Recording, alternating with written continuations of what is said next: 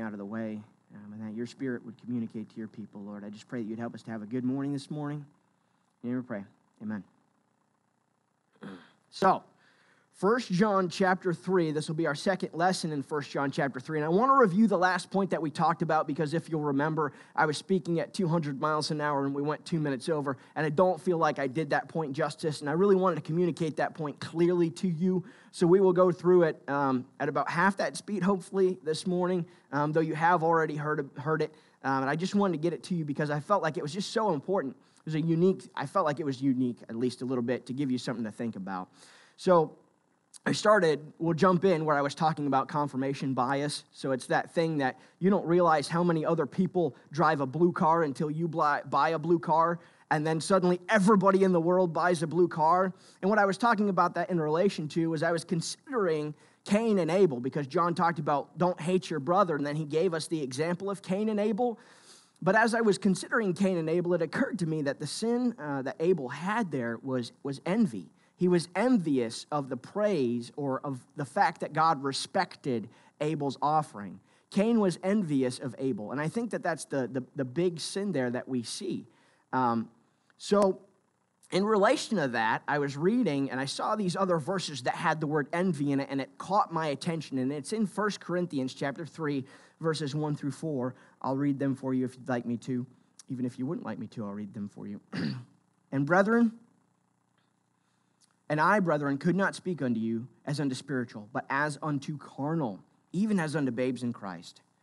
I have fed you with milk and not with meat, for hitherto you were not able to bear it, neither are ye able now. For ye are yet carnal. For whereas there is among you envying and strife and divisions, are ye not carnal and walk as men? For one saith, I am of Paul, and another, I am of Apollos. Are ye not carnal? Did you see it there? Paul is rebuking them for being spiritually immature. And what John is talking about is the opposite side of that. John is talking about when it looks like what it looks like when you are saved, when you are spiritually immature. But here in these verses, Paul gives us a description of what someone who is spiritually immature looks like, of how someone who is spiritually immature acts. He says, if you're spiritually immature, you will stir up strife. And we've talked about strife uh, in the past. And strife is that idea of stirring up competition between people to make yourself look more spiritual than them. There is an important difference between stirring up competition to encourage people, like we had a Sunday school competition. We were not stirring up strife between our Sunday school teachers. We were trying to encourage them to, do, to, to, to, to enjoy what they have there as teachers. But there is a stirring up of competition that makes people bitter and makes people argue with each other. What does strife cause? It causes divisions. Chew on this thought God did not institute the idea of the church for himself. God does not need for there to be a church. He did it for us. He knew that none of us are strong enough to make it on our own, so he gave us the church. And he gave us gifts to use in the church for the edifying of each other. And I told you I really like that word edifying, right? The idea there, oikodomeo, of building. We, we couldn't pronounce two Greek words, but we could pronounce this one, so I was super, I'm just kidding. Um, though I couldn't pronounce two. But this one is oikodomeo, which literally translated means to build a house. And the thing about building a house is the idea connotated there with to build a house is not that the house doesn't exist and we're starting from scratch. It's an idea of adding to. There's already a house in existence. So when we come to church on Sunday morning, there's already a group of people here, an ecclesia, a called out group of people here that we're adding to, that we're building up. So that's the idea there. Um, so, in other words, uh, we're adding to something that already re- exists. So, as you come to church, we're supposed to be adding to each other. But some cause division. Division is the opposite of building a house, it's tearing down the house. What do immature Christians do? They stir up fri- strife, they stir up friction, they make people oppose each other.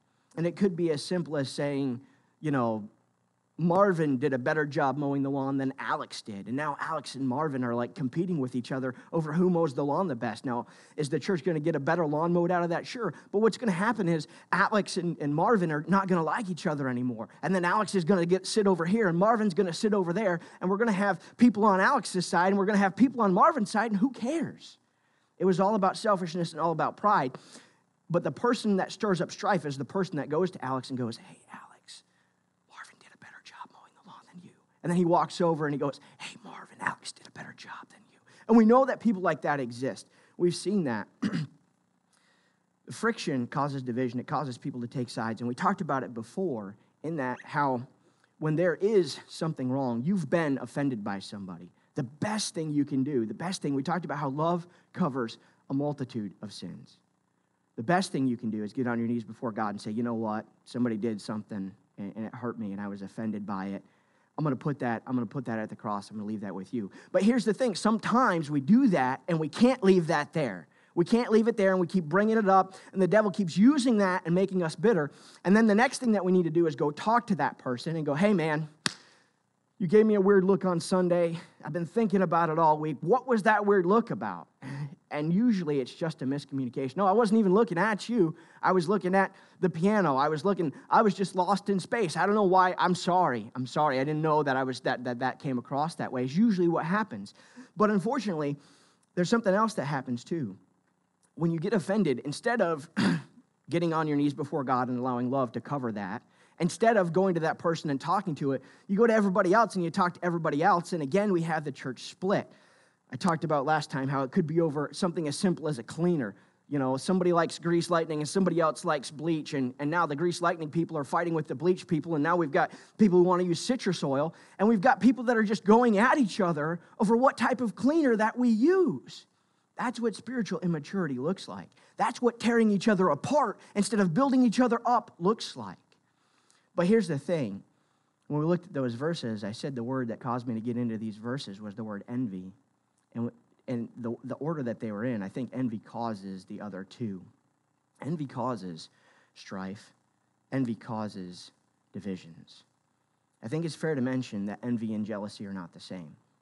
Oftentimes in the English language, sometimes, again, we've talked about connotative definitions, so we just use words interchangeably that mean the same thing to us. But envy um, is wanting what someone else has, jealousy is wanting someone to not take what you have. You're jealous over it, you think somebody's going to steal it from you.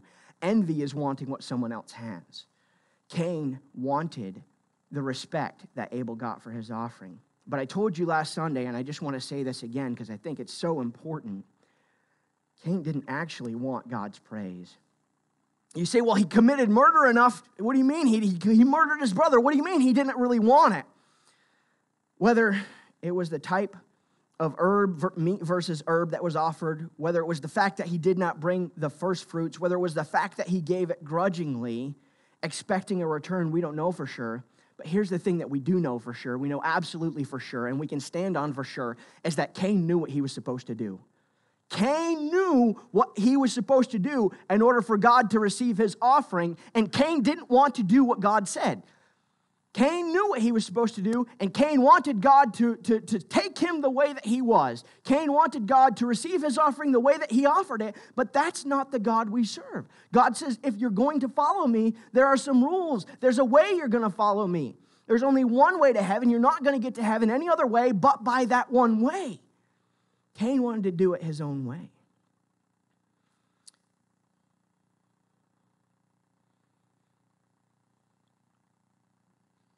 When we go back to the beginning where we started in 1 John chapter 3 verse 1 it says behold what manner of love the father has bestowed upon us that we should be called the sons of God and we talked about that adoption and how many things that we have because we're his adopted sons it says therefore the world knew us not because it knew him not God is willing that you and I can be his children. And if we're his children, we talked about how it's so important that we act like his children. But here's the thing many people are willing to be adopted. They're willing to act like their dad. They're willing to love their brothers and sisters. They're willing to make every effort to live righteously, all things that John told us in the preceding verses that we should do.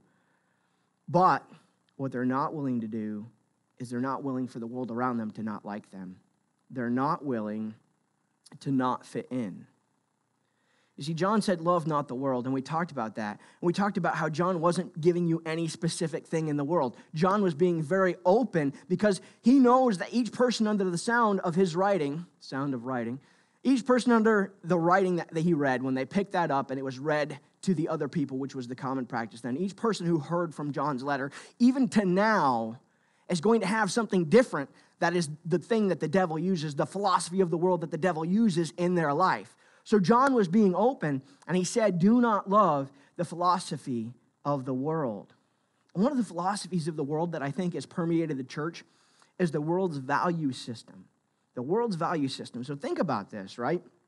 A Christian with a worldly value system looks at a church and assumes that the more people that are in that church, the more God is blessing. And we know that's not necessarily true.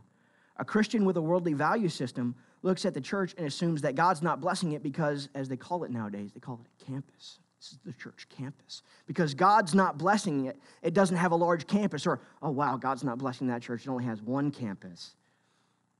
a Christian with a worldly value system looks at the finances of the church and sees that they're struggling and says that God's not blessing them. Praise God that those are not God's standards. That's not what God says. God could be putting us through a test of faith and making us to struggle, and His hand could be right on us, and that's what He wants for us.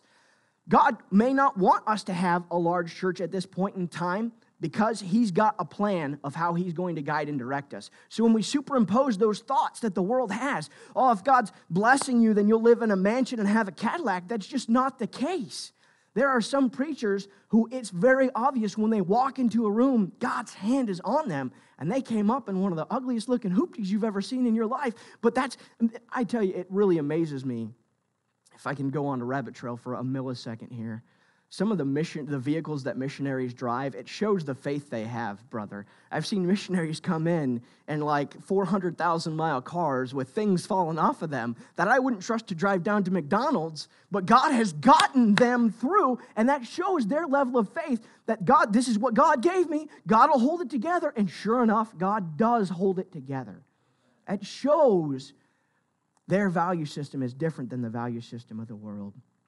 And here's the thing we don't want our church to fit into the world. The world rejected our dad. The world rejected Jesus. So if we're like him, the world will reject us. But when it rejects us, and here's what's so very important, what's so very important.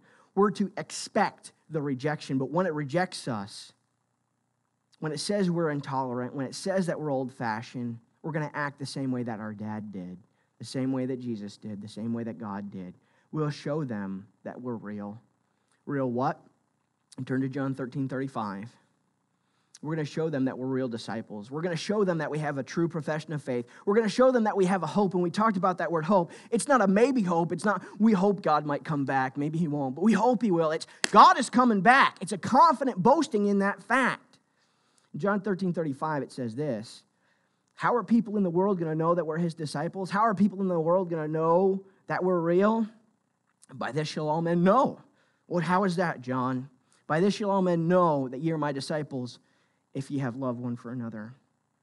How many people, and you and I can think of time and time again, where we've witnessed to somebody, we've asked somebody to come to church, and they've said, I'm not going to that church. They're a bunch of hypocrites. I'm not going to that church. They're a bunch of backbiters. I'm not going to that church. Are we real Christians? Do we act like our dad? Do we practice righteousness or do we practice sin? Do we love our brother and sister or are we like Cain, who I'm sure, and this just let this rattle through your head, right? Cain and Abel were brothers. Think about you growing up and how many times you said, I love you to your brother. I imagine that Cain told Abel that he loved him maybe every night, maybe when they woke up in the morning, maybe a few different times a day. Cain said that he loved his brother, but what happened? He envied his brother and he loved himself more than he loved his brother.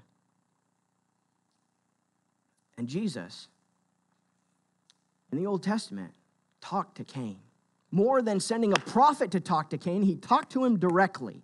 And he said, If you don't stop, sin lies at the door. He said, If you don't stop, this is going to escalate. But Cain did it his way. Cain wouldn't stop, Cain wouldn't repent. He escalated and he murdered the very brother that probably, maybe even that morning, maybe the night before, he said, Abel, I love you. And he probably actually did. But because his envy overcame him, he murdered his brother. 1 John 3, verse 7 Let no man deceive you. He that doeth righteousness is righteous, even as he is righteous. This is one of the verses that we read earlier, and we focused on the verses around it, but this verse itself is so important. We also read the text about spiritual immaturity, that one of the divisions that they caused was by saying, I'm of Paul and I am of Apollos. Listen to me. There's nothing wrong with following a man. And here's why because the Apostle Paul said, You want to follow God? You want to be like Jesus? You want to know what it's like? Do what I do. do what I do. A very bold statement. But the Apostle Paul could make that statement because the Apostle Paul woke up in the morning and did everything he could do to be like Christ, let Christ live through him. So when people followed Paul, they weren't actually following Paul, they were following Christ. Problem comes when you don't make sure that the person you're following is actually following Jesus. The problem comes when you follow a man over following God's word. The problem comes when you lift a man up to perfection. Pastor Davis and I both work very hard to study God's word and to teach you what God's word says. And what we mean by that is to teach you what God's word says, not what the Baptists say, not what some super cool theologian came out with last week. We want to teach you what the Bible actually says. But here's the thing there are so many men who will get up and they'll stand behind a pulpit and they'll teach you what another man taught them. They'll teach you what they read in a book. They don't even consult God's word to find out if what they've read is true. We have got to make sure that we are following God's word to find out if those things are true. The question is, who are you following? And, you know, I can think of as I was growing up, different men who one read a book. And because he read that book, he started following the man who wrote that book. And there was some doctrine in that book that was wrong. And unfortunately, that man started going in to wrong doctrine. And he went, he left our church and he began following people that were not right. I can think of people who have listened to a sermon that they heard on the internet and there were a lot of good things in that sermon, but unfortunately, there was some bad doctrine in that sermon. But then they began to fall in love with that man. They began to lift that man up, and they left their church following a man who was not following Christ.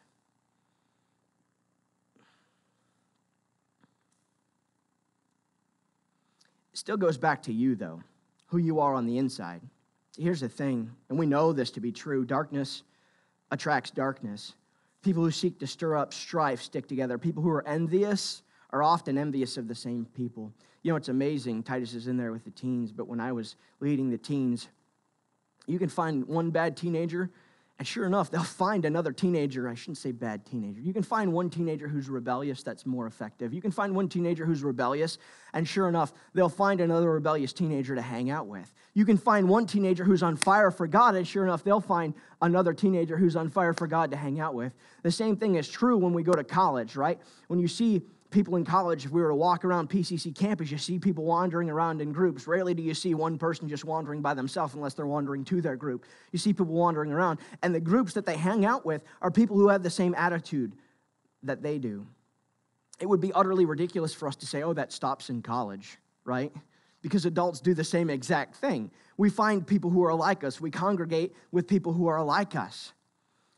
What I mean is, if you're seeking to practice sin, if you knowingly practice sin, then you'll look for a teacher who doesn't preach against that sin that is so precious to you. You'll want to believe the lie. Liars of a feather flock together. Remember how John ended his last chapter. He said, They went out from us because they were not of us. They were looking for someone who was okay with their sin. They were looking for someone who did not care if they loved their brother or not. They were looking for someone who did not have any standards. But the same is also true. The converse of that statement is true. If you want to live righteously, if you want to have love for your brother, if you want to be purifying yourself, which we talked about and defined as getting in God's word and allowing God's word to be a mirror and show you what you look like and change you, then you'll find a friend, you'll find a group of friends, you'll find a church, you'll find a preacher who preaches the truth. All of that was kind of review. I think some of that was a little bit new. So let's jump into John chapter 3, verse 15.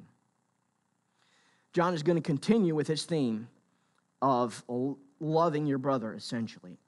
John 3.15 he says this whosoever hateth his brother is a murderer and ye know that no murderer hath eternal life abiding in him. Hereby we perceive the love of god because he laid down his life for us and we ought to lay down our lives for the brethren. And we've talked about that so many times right? About who are you actually willing to lay down your life for? And it's important when we look at that verse that we talk about for a second and this isn't in my notes, but I wanted to talk about this anyhow. It's important when we look at that verse to realize that nobody took Jesus' life. They could not take his life. He laid it down willingly. And that's the idea there. And when we think of the martyrs that we've heard about, they did not go to the stake kicking and screaming. They did not go to be punished, to be killed, to be murdered, to be slaughtered, fighting back. They laid down their life. But whosoever hath this world's good and seeth his brother have need, and seeth his brother have need, and shutteth up his bowels of compassion from him, how dwelleth the love of God in him? My little children, let us love not in word, neither in tongue, but in deed and in truth. And hereby we know that we are of the truth and shall assure our hearts before him. For if our hearts condemn us, God is greater than our heart and knoweth all things. Beloved, if our hearts condemn us not, then we have confidence toward God. And whosoever we ask, and we receive of him, because he, because we keep his commandments and do these things that are pleasing in his sight. And this is the commandment that we should believe on the name of his Son, Jesus Christ, and love one another as he, as he gave us the commandment. And he that keepeth this commandment dwelleth in him, and he in him. And hereby we know that he abideth in us by the Spirit which he hath given us. John is going to continue, and the idea of not hating your brother, he's going to continue, but he's going to escalate. See, as Christians, it should be relatively easy for us to not hate somebody. And that's what John has been talking about. That's the example that John gave us about between Cain and Abel, the envy that took place that caused him to have hate in his heart that he was willing to murder his own brother. It should be easy for us to not hate each other, but John's going to escalate that. Of course, some people do make it harder than others, but not hating should be pretty easy. John's going to escalate. He's not going to, he's not going to say not only don't hate, but he's going to say to love. And John is going to tell us how to love. He says, But whoso hath this world's good, and seeth his brother have need, and shutteth up his bowels of compassion from him, how dwelleth the love of God in him? My little children, let us love not in word, neither in tongue, but in deed and in truth. John says this to the people he's referencing. Again, he calls them as little children, um, trying to help them understand that selfishness is the world's way and not God's way. And as I thought about it, John has said little children a whole bunch of times. And one of the things that I ponder on from time to time is this. You know, we think um, about where we are now, right? Our level of spiritual maturity now. And we think about, you know, how we've gotten to this level of spiritual maturity now. And all of us come from different homes. Some come from broken homes. Some come from fantastic homes. Some come from homes that fall in the middle. We all come from different homes. But imagine what, what it would have been like if you would have been taught these things at a young age. And oftentimes, I think the reason that we're not taught these things at a young age is because we don't care. We don't get it. We don't understand. There's so many things that if I could go back as a teenager and learn as a teenager, I would redo. I would go, wow, I'm gonna, I'm gonna practice that. I'm gonna learn that. I'm gonna do that different. So many times where somebody offered me wisdom, but I was too young and arrogant to hear that wisdom. But imagine what it would have been like if you were taught these things at a young age. If your parents taught you to give at three, if your parents taught your stewardship at 10. I think oftentimes, hear me closely, I think oftentimes we actually teach the love out of kids. I think we actually teach the love out of kids and we teach them to be selfish. I don't know about your kids, but I know about mine. I know from time to time I'll come home from the shop and uh, my wife will have had somebody over that day and their kids will have been playing with my kids and my kid will come up to me proud of himself because he gave his favorite toy away. And obviously, I'm not proud of him he gave his, because he gave his favorite toy away because that cost me money.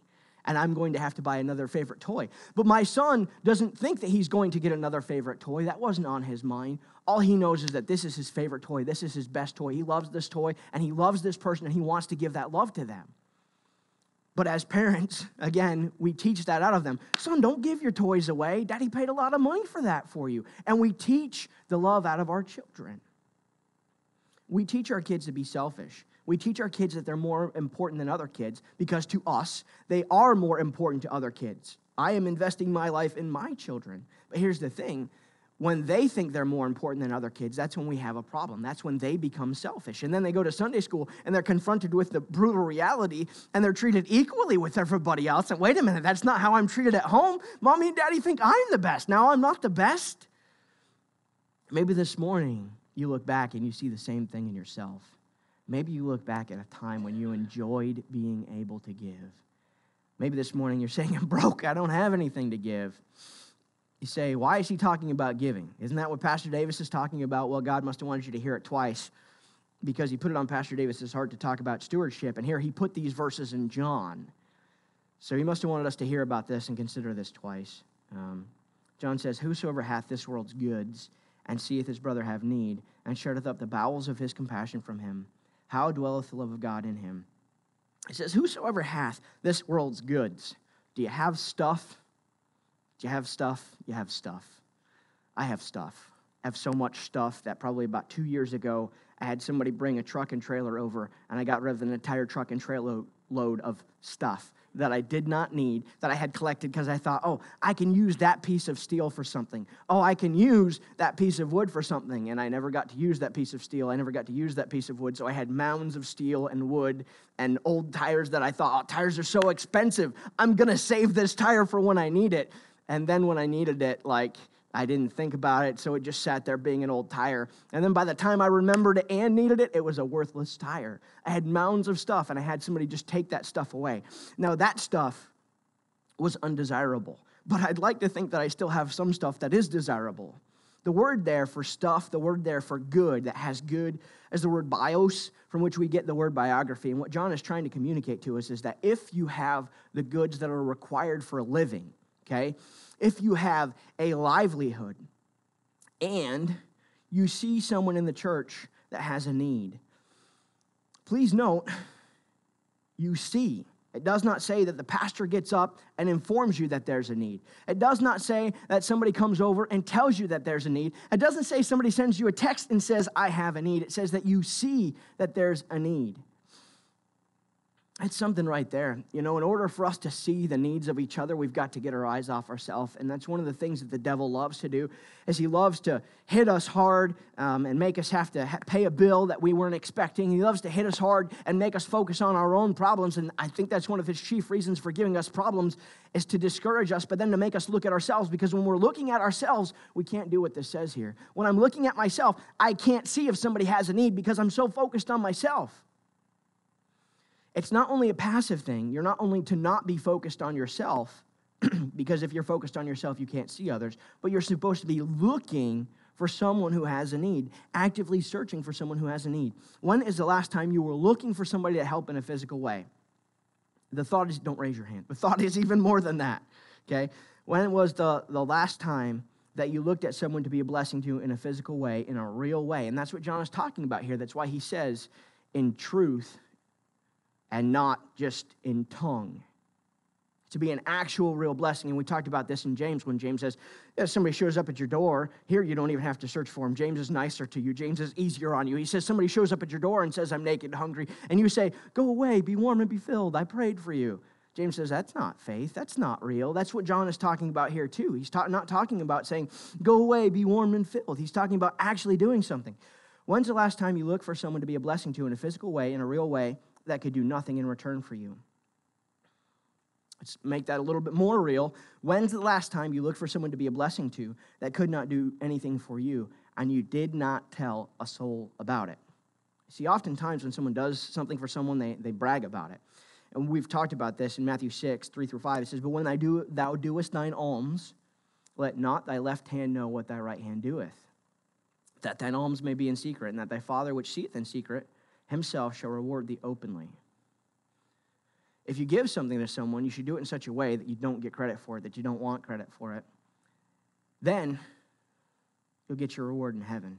But if you do it here, if you do it so that people see you, if you do it in a loud way intentionally, and that's what it's talking about there, doing something so that everybody in the world knows about it, then you will get your credit here, and your credit will be the praise of men. And can I just say, if you're on the receiving end, be grateful. Be grateful, be grateful, thank that person. And you know, sometimes people will even tell you, look, I want to take care of you, I want to do this for you. Please don't tell anybody about it. Please don't tell anybody about it. Respect that if they say that. Please respect that and be a gracious receiver. Be thankful for receiving because you know what? Sometimes God knows that we need. give you something you're like i don't know why i need this but next week you might find out why you needed it you might find out what god knew that you didn't know so we're to consider that brother who is needy. And it's also important to note that this brother who is needy, okay, you see that they're needy. They aren't telling you that they're needy. They didn't walk into church in sackcloth and ashes, wailing at the top of their lungs, Woe is me, I have a need. They went about their life just as they would any other time, and you saw their need and you met their need. In 1 John uh, 3, verse 22, it says, And whatsoever we ask, we receive of him, because we keep his commandments and do the things that are pleasing in his sight. Who are we supposed to ask? Does it say that we're supposed to ask the pastor? Does it say that we're supposed to ask the deacons? Does it say that you're supposed to ask your mama and your daddy? This is if you're the person who is in need, okay? If you're the person who is in need, not the person who wants to do something nice for somebody. It says if you're the person in need, that you should do some asking. It says, and whatsoever we ask, we receive of him. So if we're receiving of him, we have to assume that we asked him for it, right? That's fair. If you have a good relationship, your pastor will know what's going on. If you have a physical need in your life, your deacons will know what's going on.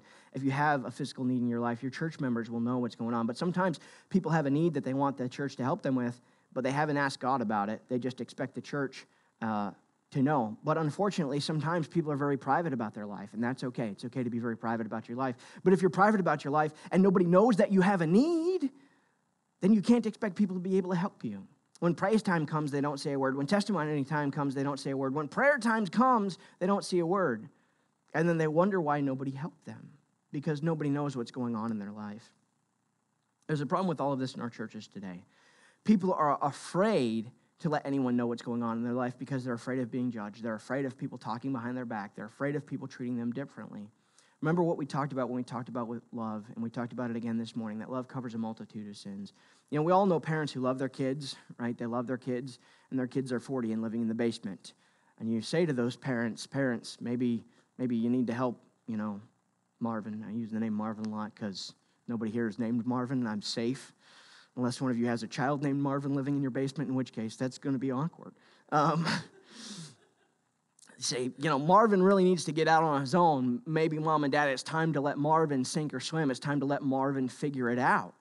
But the parents wouldn't hear that because the parents love him. And that love is allowing them to be blind to that sin in their kid's life.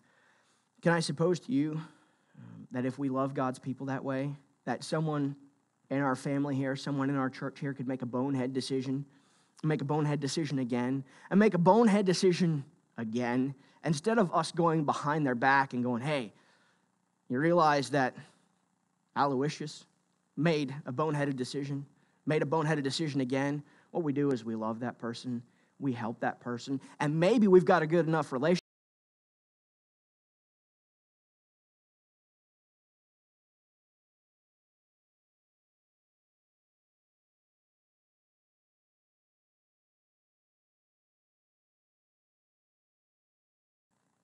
Let's close there. Gracious Heavenly Father God, Lord, we love you. Father God, we thank you for what you've designed for your church. We thank you for how you've instructed us to love each other, for the example of love that you were when you laid your life down on the cross for us, for those of us who were still in sin, for those of us who blasphemed you, Father God. You laid your life down for us. Lord, will you help us to have that love for each other, Father? Not just to not hate each other, but to love each other to genuinely care about each other, to seek to meet each other's needs. You never pray. Amen.